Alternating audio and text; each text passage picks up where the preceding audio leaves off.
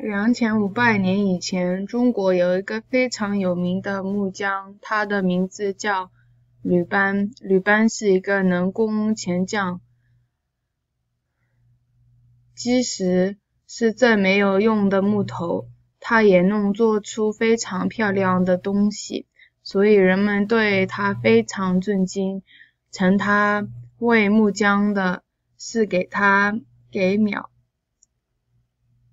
绍兴，而且二百年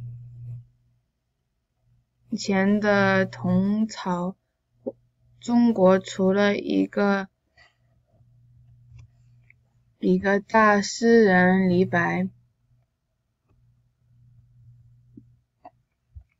是中国最有名的诗人之一。他死以他死了以后，人们把他葬在长江边。那儿有一个非风景非常美丽的地方，叫采石矶，人们都喜欢去那儿游玩。除了欣赏采石矶的风景以外，人们也去李白的墓地看看。其中有一些人喜欢在墓前写几句是。来纪念他。